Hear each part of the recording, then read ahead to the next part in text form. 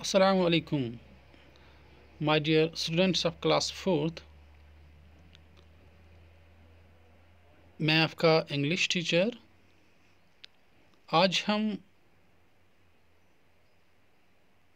English book निकालेंगे और उसकी जो पहली लेसन है, जिसका टाइटल है बादशाह द ग्रेट उसका कुछ हिस्सा हम पढ़ेंगे। तो आपको क्या करना है? आपको अपनी टेक्स्ट बुक ओपन करनी है और पहली जो लेसन है उसकी वो निकालनी है।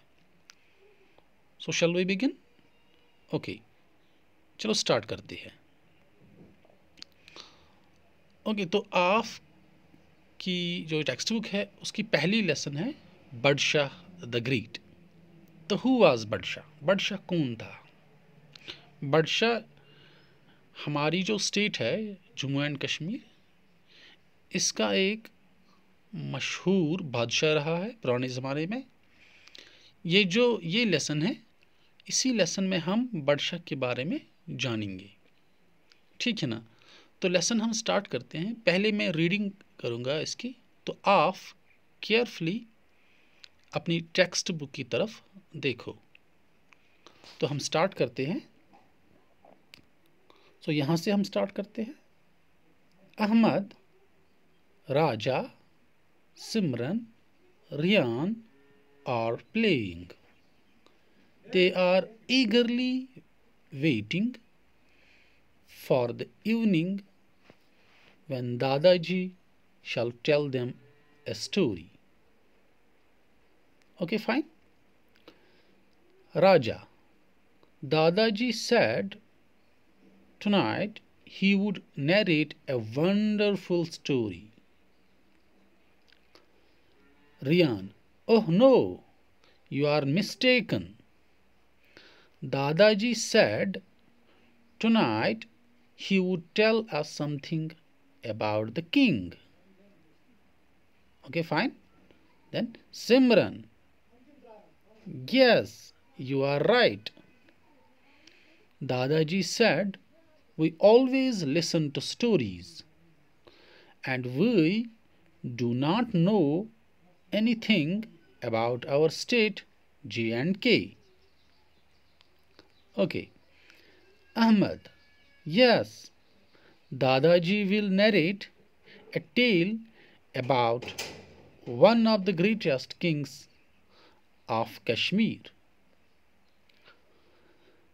Dadaji arrives after spending some time with his friends. Dadaji, come children, let you guys study. Children, oh no, Dadaji, you promised a story about the king. Dadaji, oh yes, I forgot. Children, so what next? Okay children. So we finished uh, reading first part of the lesson number first Badshah the Great. So what you have to do is to read uh, the this part of the lesson repeatedly from your textbook. Okay so that your pronunciation uh, will become right and so that you will find it very easy to write. Right? Okay now let's try to understand this so सबसे पहले आपको note करना है कि ये जो first para है uh, इस लेसन का बड़शदा ग्रेट है ये एक डायलॉग चल रहा है बात चल रही है गुफ्तगु चल रही है बच्चों के बीच में जिनका नाम था अहमद राजा सिमरन रियान। चार बच्चे थे उनके उनके बीच में गुप्तगु चल रही है। वो क्या गुफ्तु कर रहे हैं, वही हम देखेंगे, ठीक है ना? तो सबसे पहले अहमद, राजा, सिमरन, रियान और प्लेइंग, ओके? सो वो खेल रहे हैं, चार बच्चे खेल रहे हैं they are eagerly eagerly waiting for the evening when Dadaji shall tell them a story तो वो क्या कर रहे हैं? वो इंतज़ार कर रहे कर रहे हैं ईगरली ईगरली मीन्स बेसब्री से राइट right? तो वो मतलब जो बच्चे हैं, वो उस पल का ज़बरदस्त तरीके से इंतज़ार कर रहे हैं when Dadaji shall tell them a story जब दादाजी आए और उनको एक कहानी सुनाए। ठीक है ना? So you have to note down the word eagerly here eagerly means वो बेसब्री से इंतज़ार कर रहे थे। Okay okay? उनको, उनसे इंतज़ार नहीं किया जा रहा था। ठीक है ना?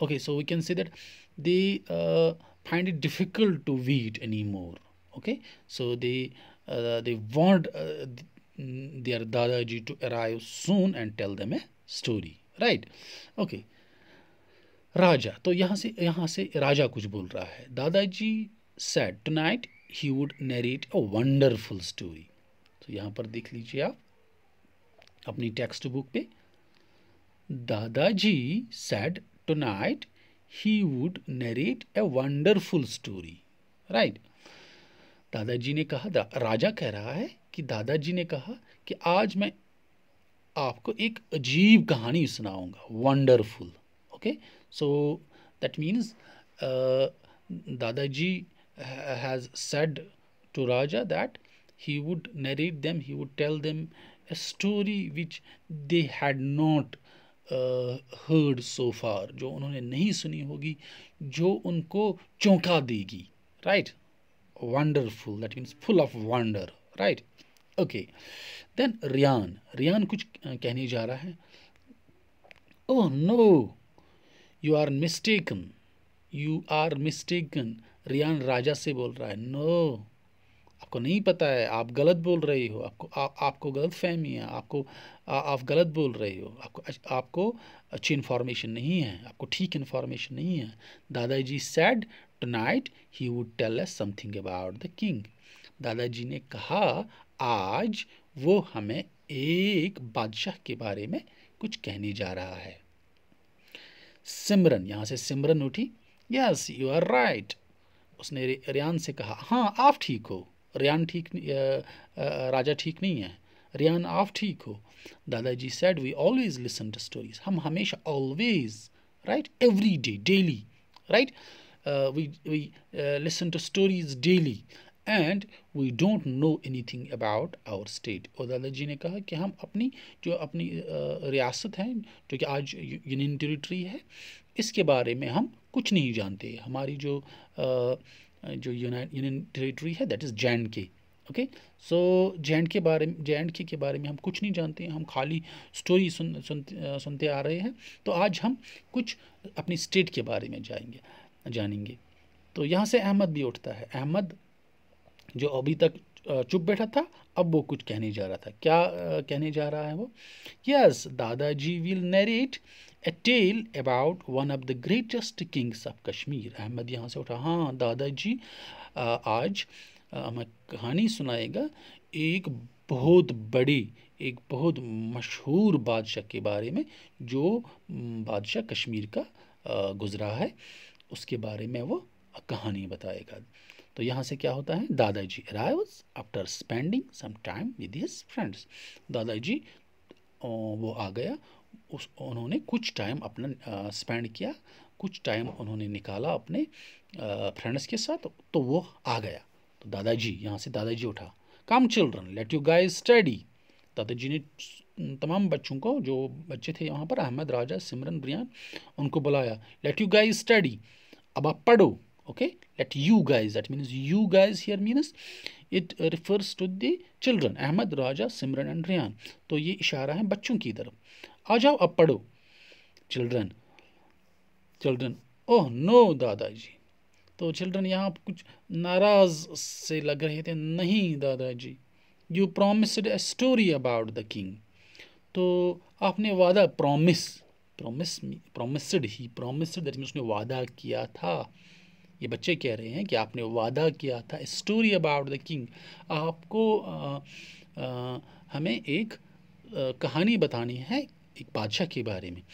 Dadaji yes I forgot forgot is the past of forget right so yes oh yes I forgot oh मैं भूल गया। ये दादाजी हाँ हाँ मैं भूल गया। Children so what next children यहाँ से एक साथ राजा रियान सिमरन अहमद एक साथ उठते हैं।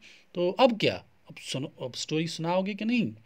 Okay okay so this finishes our first part of the lesson Barsha the great right okay tomorrow will take another part of the same lesson till then खुदा हाफिज thank you stay home stay safe